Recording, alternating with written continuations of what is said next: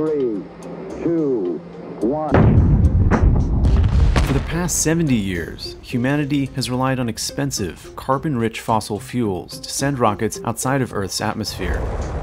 But in the near future, we may also use another method that relies primarily on kinetic energy, which is built up by spinning a rocket thousands of miles per hour in a centrifuge and then releasing it out of the launcher at hypersonic speeds. That's the promise of Spin Launch, a California based startup that is developing a new, potentially revolutionary way to send satellites into orbit. If successful, Spin Launch's technology would cut down on launch costs, allow for more frequent launches, and be less damaging for the environment. This is The Business of Space, a series about the innovative startups capitalizing on a growing commercial space industry. I, like many others, really have always wondered if we sent a man to the moon, you know, in, in, the 1960s, you know, why don't we have further exploration and development and commercialization and colonization of this frontier? What is the limiting factor here? 10 years ago, just as the commercialization of space was beginning, Spin Launch CEO and founder Jonathan Yaney began investigating rocket launch technology to see if he could solve a problem that has dogged the launch industry since its inception why is sending rockets into space so expensive? The more and more you look at it, you realize that they are just simply limited by physics, the physics of the rocket equation. In order for a rocket to leave Earth's atmosphere, it requires large amounts of energy. Historically, this energy has come from multi-stage rockets filled with massive amounts of propellant. That reality is best captured in an over 100 year old equation, which states that a rocket's change in velocity depends on the exhaust velocity and the ratio of total mass to fuel mass. What the equation tells us is that in order to generate enough momentum to leave Earth's atmosphere, a rocket's mass must be mostly rocket fuel. Today, about 95% of the mass of most rockets, like SpaceX's Falcon Heavy, is fuel. Spin launch replaces about 80% of the fuel required to get to orbit with clean, renewable-based electricity. Spin Launch isn't the first to attempt an alternative method to get rockets into orbit. For decades now, scientists have explored creative solutions like space elevators, maglev propelled launch systems, space hooks or tethers, and others to get into space. In the 1960s, the US and Canadian governments collaborated on Project HARP, which made use of ballistic technology to shoot objects into the upper atmosphere. Space planes, which combine features of an airplane with a spacecraft, are another option. One of the more notable examples is the Space Shuttle, which operated from 1981 to 2011. Fire. More recently, Virgin Galactic's VSS Unity completed its first fully crewed mission in July of 2021. Spin Launch's technology can be described as a centrifugal slingshot. It is a 50,000 year old idea. It is a sling launch system that is a rotational launch capability, a rotational mass accelerator that accelerates the launch vehicle up to about 5,000 miles an hour. 170 Gs, Mach 0.3. And it glides through the atmosphere and out of the atmosphere and into space before you know, launching a very small rocket. Once the craft reaches the outer atmosphere at an altitude of about 60 kilometers, it uses a small rocket engine to push it the rest of the way. It doesn't have emissions in the atmosphere and it represents the only alternative to chemical propulsion and combustion. Until its public test launch last year, Spin Launch had been in stealth mode for seven years, as Yaney and his team worked on developing the technology from scratch. We had to start with really the core concept. And so we built a laboratory version, the one here behind me, the 12 meter. Spin Launch's A12 is a 12 meter prototype centrifuge that tests the ability of various payloads to endure the high G environment they would experience while being accelerated. The A12 is a really great test platform for engineers. So for today's launch, we're going to be operating just above Mach 1, so a little bit less than 1,000 miles per hour, so faster than a jet, approximately the speed of a bullet.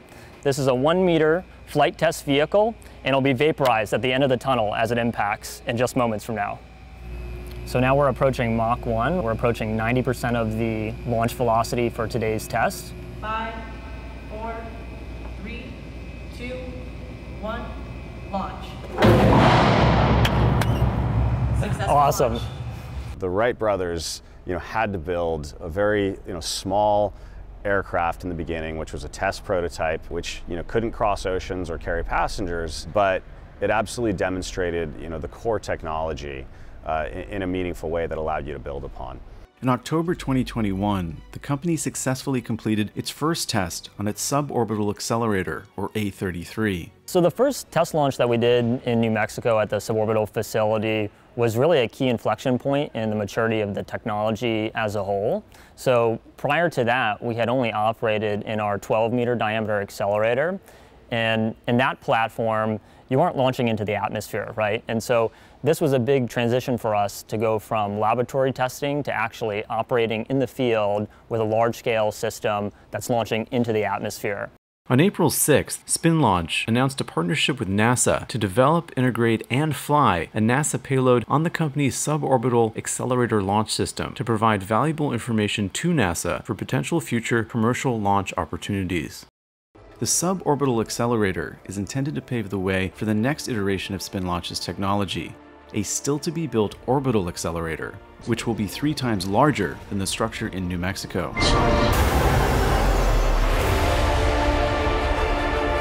SpinLaunch said it will begin building its orbital launch pad this year at a yet to be made public coastal location. Although SpinLaunch is developing a new rocket launching technology, it's really in the satellite business, since the booming low Earth orbit satellite or LEO industry will be the company's target market. SpinLaunch's technology is not suitable for human spaceflight because of the high g-forces generated in the centrifuge. Space launch is ultimately a transportation industry. Providing low-cost, inexpensive access to an inaccessible place like space is similar to when we achieved advances in transportation such as the steamship, you know, which allowed you know, access of you know, movement of massive amounts of goods and, and cargo and, and people to entirely new continents, and civilization emerged. Morgan Stanley expects the satellite business to be about one half of the $1 trillion space economy by 2040. In all of history, every country combined, we've launched less than 10,000 satellites since the beginning of the space age. We're coming up on launching that many satellites per year you know, in, in, the, in the short kind of coming few years. And those will be supported by thousands of companies doing a variety of missions you know, across every industry imaginable. Since 2000, the average cost of launching an object into space has fallen dramatically thanks to new launch providers such as SpaceX and others. SpaceX's rideshare program, in which satellite operators reserve space on a rocket with unrelated operators, now lists costs as low as $1.1 million to place up to 200 kilograms into sun-synchronous orbit, with additional mass costing $5,500 per kilogram. SpinLaunch said the widespread adoption of its technology would revolutionize the satellite deployment industry by bringing the cost per launch down to $2,000 per kilogram during early commercial operations. The company said they expect to be able to drive costs into the hundreds of dollars per kilogram as the system matures. But SpinLaunch's success is not assured, and some are skeptical the technology can ever be deployed at scale successfully. I hope they do get it to work, but from a physics standpoint, it, it's a pretty difficult physics problem. The first problem I think of when spinning things really fast is, you know, if the arm breaks, the energy that you've stored in there, especially with spinning it up so fast, is basically a bomb waiting to blow up, and the pieces just go flying in all different directions. Number two, if especially if you have a tube launch, uh, a window for the rocket to go out, you you have to time that just right so that it releases at the right point. If not, it's going to hit the wall, and that's going to degrade the integrity of the whole thing, and it's just going to blow up. If you want to get into orbit, you're going to essentially have as much energy in it as you would a chemical rocket. It's just not chemical energy, it's rotational kinetic energy. SpinLaunch has raised $120 million to date from prominent investors. The company also signed a contract with the Pentagon's Defense Innovation Unit to test and deploy Spin SpinLaunch's responsive launch services. The company says it is on target to place satellites in orbit and deliver payloads for spacefaring endeavors by 2025.